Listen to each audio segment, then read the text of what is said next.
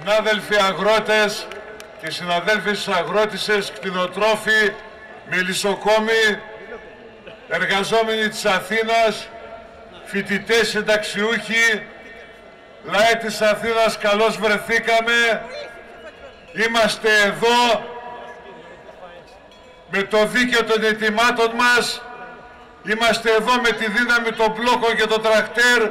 Είμαστε εδώ με την όθηση που μας έδωσε η συμπαράσταση και η αλληλεγγύη όλων των φορέων και της συντριπτικής πλειοψηφίας του λαού μας και για αυτούς ακριβώς τους λόγους μπορέσαμε σήμερα να πραγματοποιούμε αυτό το μεγαλειώδες αγροτικό και όχι μόνο συλλαλητήριο στο κέντρο της Ελλάδας με τα τρακτέρ μας, με δεκάδες τρακτέρ που και αυτός είναι ένας συμβολικός αριθμός των χιλιάδων τρακτέρ που υπάρχουν στα μπλόκα εδώ και ένα μήνα και δίνουν τη μάχη της επιβίωσης, τη μάχη της αξιοπρέπειας και της περηφάνειας, τη μάχη για το δίκαιό μας.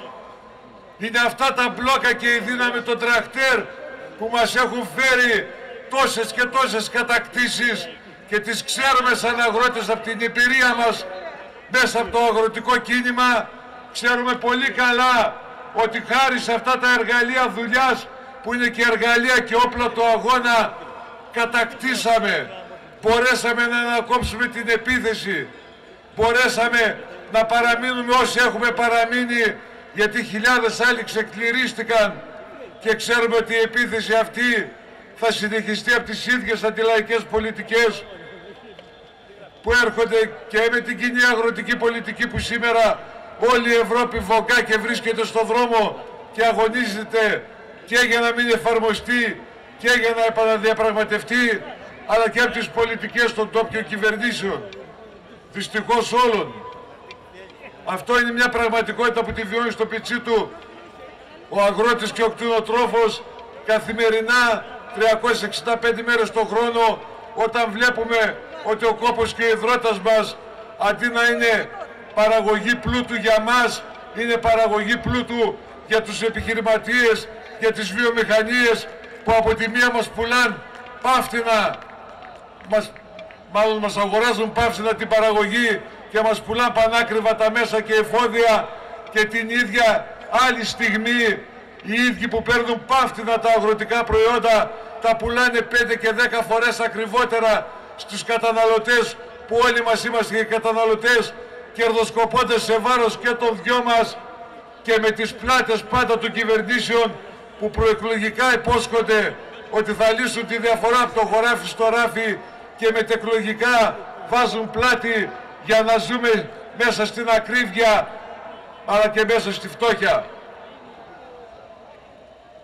Έχουμε κοινούς αντιπάλους συνεπώς και γι' αυτό βρισκόμαστε όλοι εδώ σε αυτό το μεγάλο, το πρωτόγνωρο συλλαλητήριο, το μεγαλύτερο αγροτικό συλλαλητήριο που έχει γίνει στη χώρα που κάποιοι μπορεί να το χαρακτηρίζουν και πανηγύρι και φιέστα γιατί δεν έχουν καταλάβει ακόμα ότι η δύναμή μας είναι η ενότητα του λαού μας, ότι η δύναμή μας είναι ο κοινός αγώνας, ότι απέναντί μας έχουμε κοινούς αντιπάλους και όποιος δεν το καταλαβαίνει αυτό σήμερα θα το καταλάβει μέσα από την υπηρεία το αύριο.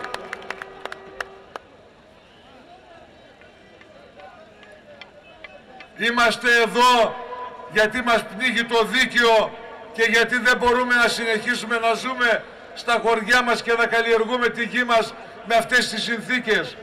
Με ένα δυσβάστακτο κόστος παραγωγής που τσακίζει κάθε αγροτική προσπάθεια.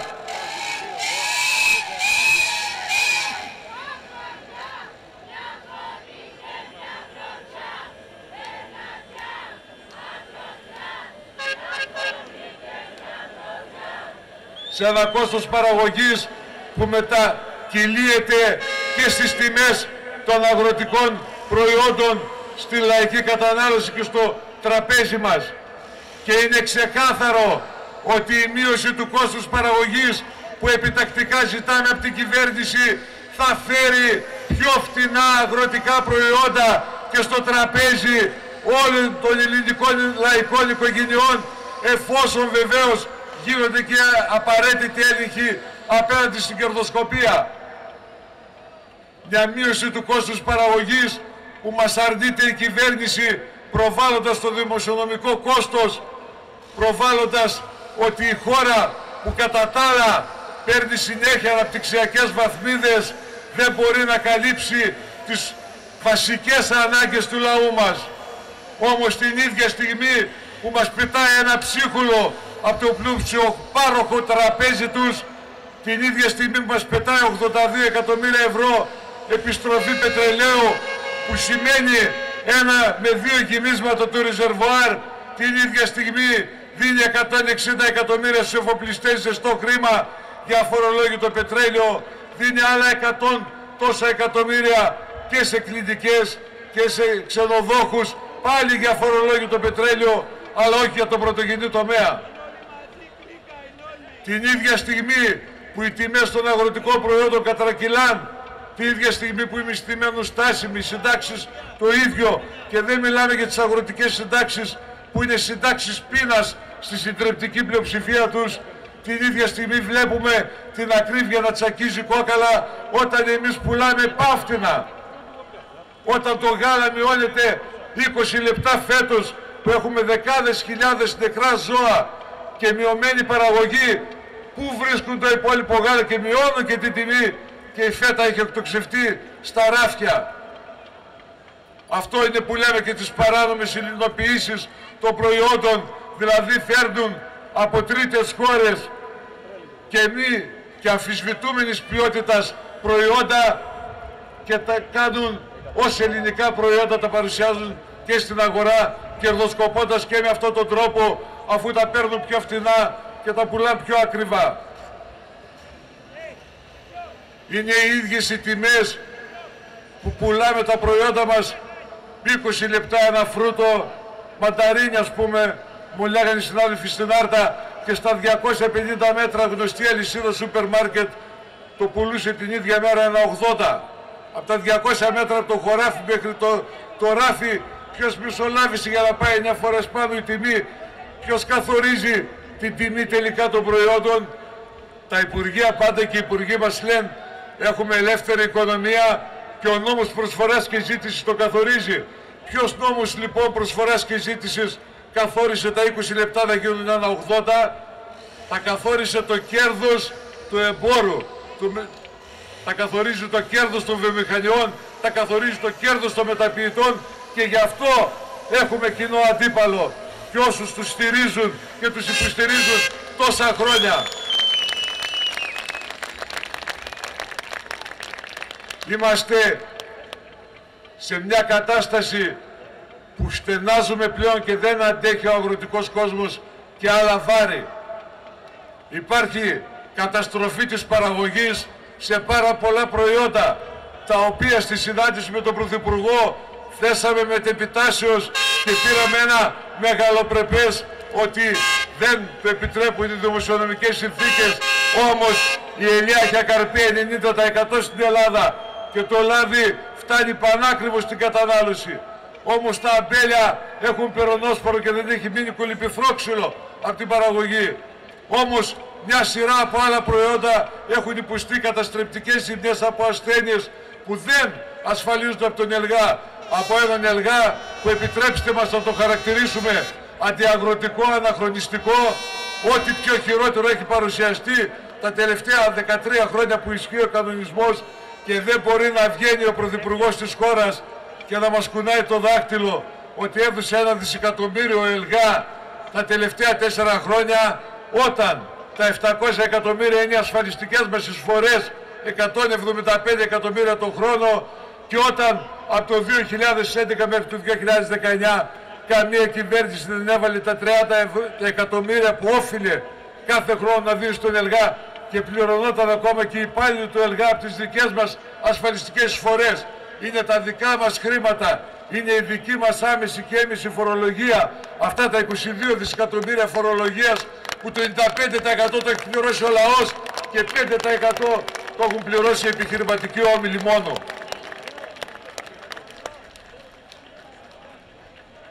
Είναι αυτά τα αιτήματα που, που θέτουμε ως επιβίωση σήμερα και για το αύριο και για την προοπτική γιατί μιλάμε για ένα μικρό κλήρο στη χώρα μας για ένα γερασμένο αγροτικό πληθυσμό για κροκοδίλια δάκρυα που χύνουν για την ερήμωση της Υπέθρου και στην Ήπεθρο αυτή τη στιγμή δεν υπάρχουν σχολεία, δεν υπάρχουν κέντρα υγείας, δεν υπάρχουν χώροι άθλησης και πολιτισμού, δεν υπάρχει τίποτα και τα χωριά μας έχουν σβήσει και ερημώνουν και σε πολλά δεν υπάρχει ούτε ένα καφενείο. Να βγεις και να μιλήσεις με τους συγχωριανούς σου. Αυτή είναι η πολιτική που ερήμωσε αυτή την Ήπεθρο και δεν φταίνει οι αγρότες που εγκατέλειψαν μαζικά την παραγωγή γιατί πλέον δεν μπορούσαν να βγουν οικονομικά. Είναι οι μεγάλες καταστροφές που έχει υποστεί φέτος η χώρα μας. Γιατί εμείς δεν δεχόμαστε ότι είναι νομοτέλεια το καλοκαίρι να κυγόμαστε, το χειμώνα να πληγόμαστε και άμα χιονίσει κιόλας δυο πιθαμές χιόνι να μην να κλείνουν και οι δρόμοι και οι εθνικοί. Δεν το δεχόμαστε ως νομοτέλεια. Δεν φταίει το κακό το ριζικό μας, δεν φταίει η κακή η μοίρα μας. Φταίει πολιτικές συγκεκριμένες που δεν έχουν κάνει τα απαραίτητα έργα. Από πού να ξεκινήσουμε και πού να τελειώσουμε. Από το δαμάς της Λάρισας που είναι τρία χρόνια σεισμόπληκτη και 60 οικογένειες ζουν σε κοντέινερ που στα τρία χρόνια δυο σπίτια έγιναν. Δυο σπίτια έγιναν από αυτά που καταστράφηκαν. Από τη Θεσσαλία που έχει διαλυθεί πλήρως που έσπασαν όλα τα αναχώματα και τα φράγματα γιατί δεν έκαναν αντιπλημμυρικά έργα και πνίγηκαν 17 συνάνθρωποι μας. Είναι πλημμυρισμένα 180.000 στρέμματα αυτή τη στιγμή έχουν από ένα μέχρι και 5 μέτρα νερό μαζί με τα μηχανήματα και όλη την υποδομή των αγροτών στην περιοχή της Κάρλας. Υπάρχουν άλλα 170.000 στρέμματα που δεν θα καλλιεργηθούν γιατί έχουν φερτά υλικά. Υπάρχει απόγνωση, υπάρχει οργή, υπάρχει αγανάκτηση όπως υπάρχει και στον Εύρο που κάηκε. Βεβαίως εμείς επιμένουμε, έχουμε και συνάντηση κλείσει με τον Πρωθυπουργό σε κανένα δεκαήμερο περίπου και για τη Θεσσαλία και για τον Εύρο, όμως πρέπει και η κυβέρνηση να πάρει μέτρα και να στηρίξει οικονομικά αυτό τον κόσμο.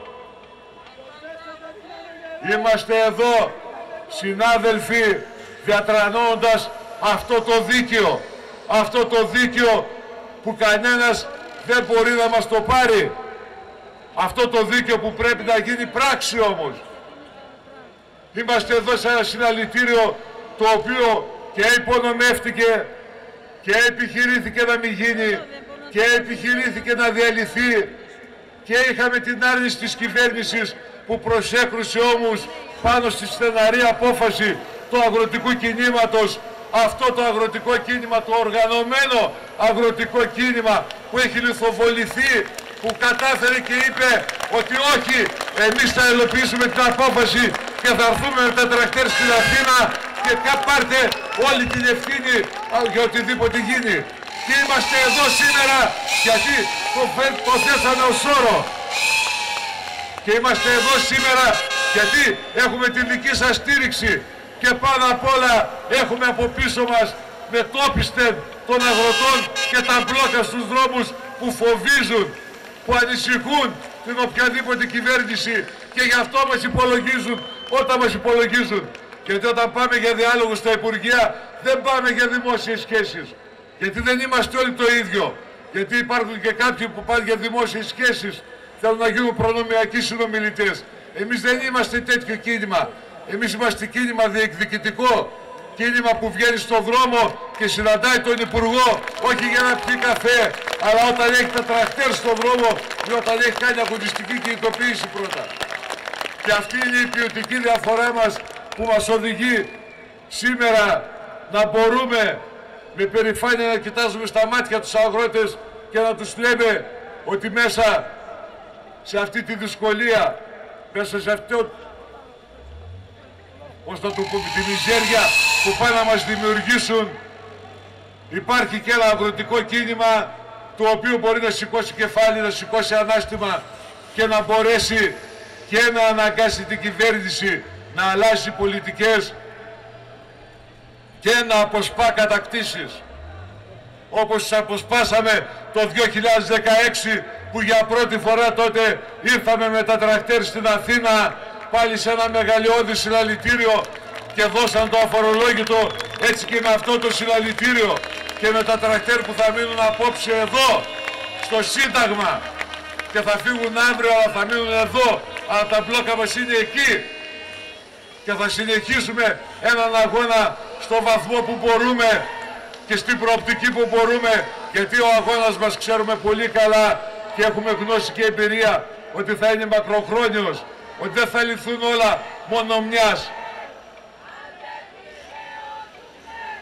Μακάρι, μακάρι να μπορούσαν να δικαιωθούν όλοι όλα τα αιτήματά μας μόνο μιας και θα μπορούσαμε μόνο με την επιπλέον δύναμη να συμμετέχουν όλοι οι αγρότες και να συμμετέχει και ο λαός να καταλάβει ότι έχει δύναμη στα χέρια να δοκιμάσει αυτή τη δύναμη του συλλογικού αγώνα γιατί ο καθένας από εμάς είναι ένα πρόβατο που θα το φάει ο λύκος αλλά όλοι μαζί μπορούμε να γίνουμε και να το τρομάξουμε το λύκο.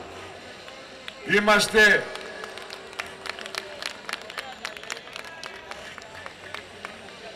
Υπάρχουν πολιτικές συνάδελφοι, πολιτικές που καθορίζουν τα προβλήματα που ζούμε και που τα δημιουργούν.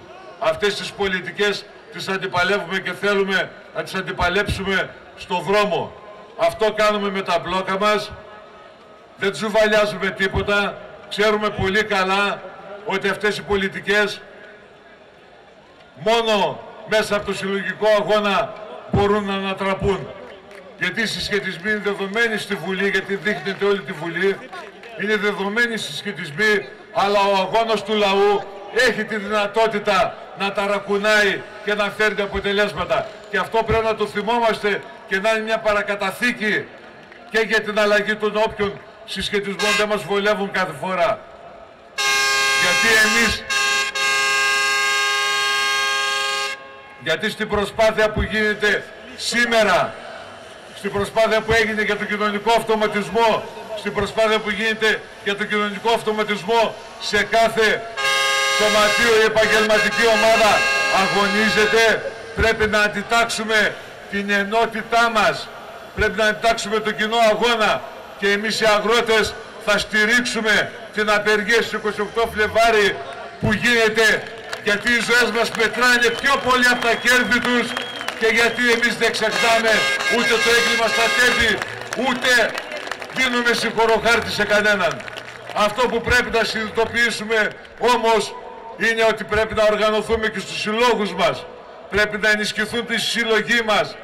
Οι αγωνιστικές ομοσπονδίες, η Πανελλαδική Επιτροπή των Μπλόκων, όλα αυτά τα μπλόκα που σήμερα υπάρχουν πρέπει να γίνουν και σύλλογοι δυνατοί, να μπορούν να ενημερώνουν, να μπορούν να κινητοποιούν, να μπορούν να συσπηρώνουν την πλειοψηφία των αγροτών στα χωριά μας.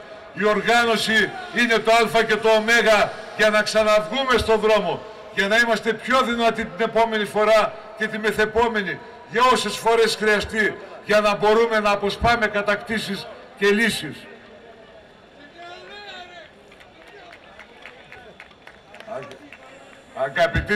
Αγαπητοί, συνάδελφοι, τα μπλόκα μας είναι γεμάτα από νέα παιδιά με όνειρα και φιλοδοξίες που θέλουν να ζήσουν. Θέλουν να ζήσουν με αξιοπρέπεια δουλεύοντας τη γη. Γιατί ο αγρότης πρέπει να ξέρετε ότι έχει δύο χαρακτηριστικά.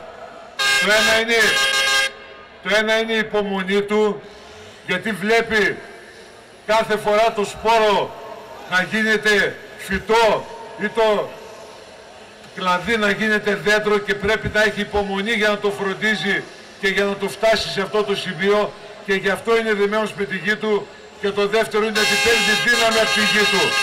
Όλα αυτά τα νέα παιδιά που σήμερα δίνουν τη μάχη στα μπλόκα που είναι το παρόν αλλά και το μέλλον του αγροτικού κινήματος δεν μπορούμε να τα αφήσουμε στην τύχη τους και πολύ περισσότερο δεν μπορούμε να αποδεχτούμε την τύχη που τους ετοιμάζουν γιατί όσα σχέδια βελτίωσης και να κάνεις, όσα προγράμματα νέων αγροτών και να κάνεις, αν δεν λύσεις το βασικό θέμα, μείωση του κόσμου παραγωγής, τιμές που να καλύπτουν το κόσμο παραγωγής και να σου αφήνουν ένα μεροκάματο και να ζεις την οικογένειά σου, αλλά και να ξαναεπενδύεις στη γη, γιατί κάθε καλλιέργεια θέλει και χρήματα για να γίνει, ποτέ και πουθενά στην Ελλάδα δεν θα υπάρξει νέος αγρότης που να μπορεί να σταθεί στα πόδια του και έχουμε ευθύνη και και απέναντι σε αυτά τα νέα παιδιά και έχουμε ευθύνη και απέναντι στις οικογένειές μας αυτόν τον αγώνα που τον έχουμε τέσσερις εβδομάδες τώρα στον δρόμο να δούμε πώς θα τον ολοκληρώσουμε με τον καλύτερο δυνατό τρόπο και πηγαίνοντας απαιτητικά προς την κυβέρνηση να δώσει λύσεις. Και το συλλαλητήριό μας σήμερα έχει αυτό ακριβώς το σκοπό να δείξει στην κυβέρνηση που μας παρακολουθεί πάρα πολύ καλά ότι είμαστε πολλοί, ότι είμαστε χιλιάδες, είμαστε πολύ περισσότεροι αυτοί που δεν μπόρεσαν να έρθουν. Αλλά είμαστε χιλιάδες. Και αυτές οι χιλιάδες καρδιές χτυπάνε στο ίδιο μήκος κύματος και θέλουν το ίδιο πράγμα. Και ακριβώς αυτό, επειδή υπάρχει στα Σπάργανα έστω, αλλά υπάρχει μια ενότητα σήμερα του αγροτικού κινήματος, όλα τα μπλόκα συνενώθηκαν και φτάσαμε εδώ στο συλλαλητήριο στην Αθήνα ακριβώς αυτή την ενότητα που πήγαν να τη διασπάσουν, που προσπαθούν και θα επιχειρήσουν να τη διασπάσουν. Αυτή την ενότητα που καταχέται καθημερινά θα πρέπει να τη διαφυλάξουμε ως κόριο φθαλμού και ταυτόχρονα βέβαια να διαφυλάξουμε και τα μπλόκα μας και τους αγροτικούς μας συλλόγους και κάθε μορφή οργάνωσης που έχουμε κατακτήσει ως αγροτικό κίνημα γιατί και τα μπλόκα πήγαν να τα διαλύσουν και τα τηλέφωνα πέφτουν και είναι προς τιμήν όλων των συναδέλφων που αντιστάθηκαν σε αυτές τις πιέσεις και βρίσκονται ακόμα στον δρόμο του αγώνα και δίνουν αυτή τη μάχη της επιβίωσης.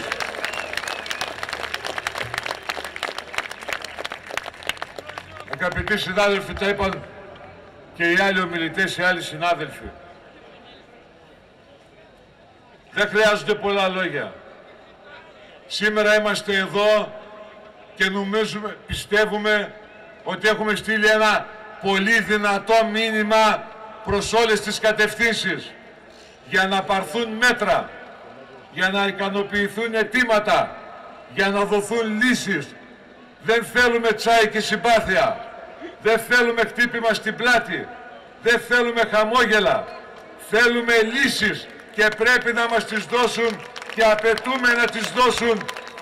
Γιατί είναι υποχρέωσή τους και είναι δικαίωμά μας να τις διεκδικούν με οποιοδήποτε τρόπο και με τα τρακτέρ στην Αθήνα και κλείνοντας το δρόμο όταν θα χρειαστεί σε κάθε μορφή αγώνα. Είμαστε ανοιχτοί, μπορούμε να τις εναλλάσσουμε και πιστεύουμε ότι φέτος το αγροτικό κίνημα στη χώρα μας έκανε ένα βήμα ορίμανσης αλλά και εμπειρίας απέκτησε καλύτερης και τις μάχες που έρχονται. Και αντιμετωπίσαμε με υπευθυνότητα όλη αυτή την κινητοποίηση και μέχρι το τέλος με υπευθυνότητα θα την αντιμετωπίσουμε έχοντας ως γνώμονα ένα και μόνο συμφέρον. Το συμφέρον των συναδέλφων μας αγροτών, κτηνοτρόφων, μελισσοκόμων και ψαράδων αυτών που αποτελούν το πρωτογενή τομέα στη χώρα μας. Ένα τομέα που παράγει αλλά δεν πληρώνεται το μόχθο του.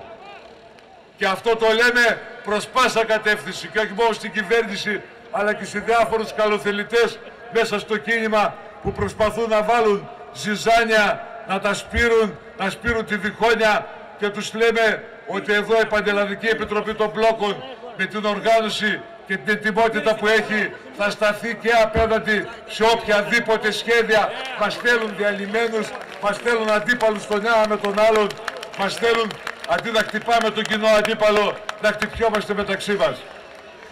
Αγαπητοί συνάδελφοι αγρότες, λαέ της Αθήνας. Είμαστε αισιόδοξοι γιατί όταν αγωνίζεσαι είσαι αισιόδοξος άνθρωπος. Έχεις ελπίδα και αυτή την ελπίδα την κάνεις και πράξη και στη ζωή σου. Είμαστε αισιόδοξοι ότι ο αγώνας μας αργά ή γρήγορα θα φέρει αποτελέσματα όλο και καλύτερα. Χάρη σε αυτόν τον αγώνα που σπάσαμε κάποιες κατακτήσεις δεν μας ικανοποιούν το δηλώσαμε από την πρώτη στιγμή, αλλά είναι κάποιες κατακτήσεις που δεν θα τις είχαμε αν δεν γινόταν αυτός ο αγώνας των τεσσάρων εβδομάδων στα μπλόκα και με όλες τις μορφές που έχουμε αξιοποιήσει. Και αυτό είναι μια παρακαταθήκη που δεν πρέπει να ξεχάσουμε γυρνώντας τώρα στα μπλόκα μας ή γυρνώντας αύριο μεθαύριο στα χωριά μας γιατί αυτός ο αγώνας θα έχει και συνέχεια.